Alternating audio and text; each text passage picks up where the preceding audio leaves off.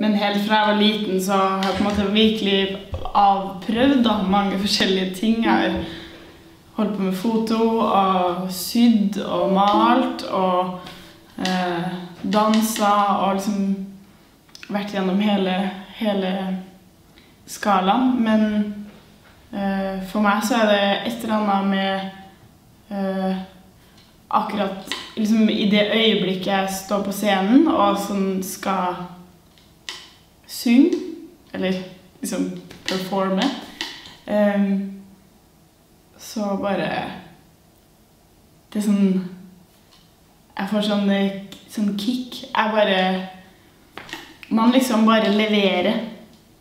Skjønner du hva jeg mener? Sånn Man bare Man bare er der. Og ikke tenker. Og, og det er bare sånn For meg så er det helt Det er så fuckings nice. Altså, det er bare Åh, det får jeg virkelig ikke noe annet sted i livet mitt, den følelsen der. Hvor det bare er helt Ja. Det er sånn energi som bare Jeg bare må ha, tror jeg. Um, så Det har jo på en måte vært en veldig stor motivasjon for meg å få lov å spille live. Eh, og liksom være på scenen og levere noen ting. Eh, og så har jeg alltid vært glad i å synge. Men jeg følte aldri helt at jeg liksom, Jeg spilte litt kontrabass og litt gitar og piano og sånn, men jeg liksom aldri helt Med min stemme så høres det bare totalt countryaktig ut hvis jeg spiller gitar. Og da ble det litt sånn Carol King-greie. Og det var liksom ikke helt det jeg hadde lyst til å uttrykke, da. Og så begynte jeg å jobbe i Logic, sånn ja, musikkprogram. Kanskje jeg enda begynte i Hva heter det på Apple, det som er med? Eh, GarageBand. Eh, og, og begynte på en måte å, å leke meg der, da. Og når du liksom lager elektronisk musikk, så er det veldig sånn fritt. Man kan på en måte bare det er vel, Eller for meg er det i hvert fall mer intuitivt enn hvis jeg skal spille gitar. Fordi da blir jeg veldig begrensa av alle hvor mange akkorder jeg kan. sånn, Men i Logic så er det liksom Alt kan komme inn, da.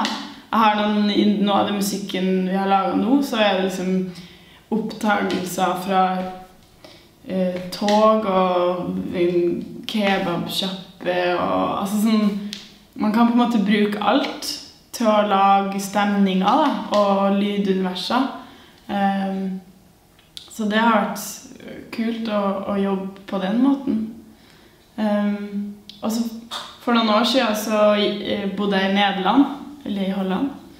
Uh, og uh, hadde veldig mye tid til å Eller jeg hadde veldig mye tid til overs. Så da på en måte dykka jeg veldig ned og begynte virkelig å, ut, liksom, å leke og begynne å lære meg det og se alle YouTube-tutorialsen og sånne ting. Og så gikk jeg faktisk på et, et sang, sangskrivningskurs i Nederland. Men ja, det var Han var bare sånn der Det var liksom A, B, A, B. Eh, en tekst skal handle om eh, det må være historie, og man må gå fra A til B og sånn. Og det syns jeg var litt bullshit. Altså, sånn, um, så på en måte mitt tekstunivers da, er, veldig sånn uh, Følelser og samtaler med meg sjøl, samtaler jeg har med andre. Uh, samtaler jeg har med andre med meg sjøl. Uh, og på en måte bruddstykker og kollasjer på en måte av det. da. Og der bruker jeg også telefonen veldig mye til å på en måte skrive veldig umiddelbare ting. Altså Som alle andre så har jeg også veldig mye følelser og, og har Altså sånn, det er veldig eh, godt for meg å, å, skrive det ned. Og så er jeg litt like glad om eh, det er en fin historie som går fra A til B, eller sånn, eller at det henger sammen. Fordi det henger jo sammen for meg.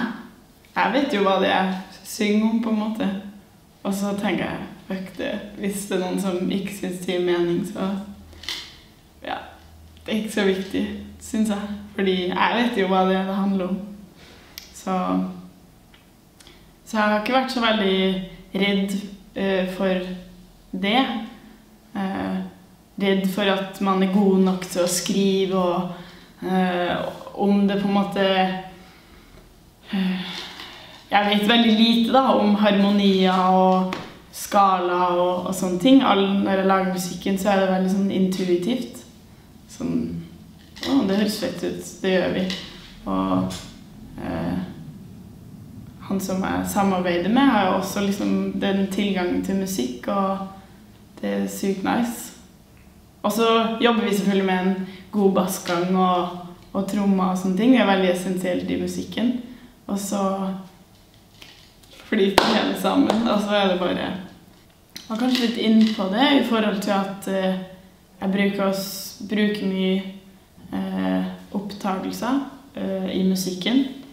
Eh, altså at man tar opp lyder og sånn. Jeg har jobba en del med soundscapes og kjenner også en totalt eh, flink eh, dame som jobber med soundscape, som har inspirert veldig til å, å bruke på en måte lydmiljøer rundt oss eh, inn i musikken.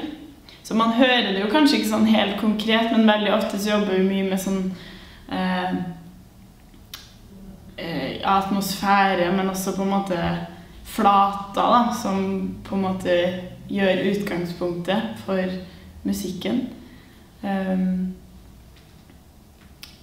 så, så det er jo liksom alt mulig. Hverdagslig. Eller eh, hvis jeg er ute og reiser og sånn, det er klart at da er man liksom jeg vet ikke, mer observant, kanskje, så da hører man mer og ser mer og blir inspirert da, på den måten. Jeg har også sånn greie med å, å skrive eh, tekster på fly.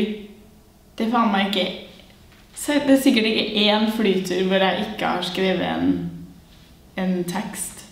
Jeg vet ikke hvorfor. Jeg blir veldig rolig på, på fly. Så er det sånn pause, og man kan tenke og føle og, og skrive tekster. Jeg vet ikke, jeg syns det kan være alt mulig, og det er jo klart at sånn Eller for min del, det er jo ikke sånn at jeg bare er kreativ hele tida. Altså, det går veldig sånn opp og ned hvordan man har det, og hvor man er følelsesmessig og sånne ting, når man jo selvfølgelig skriver mer. Jeg tror det er jævlig mange som skriver mye når de har det dårlig.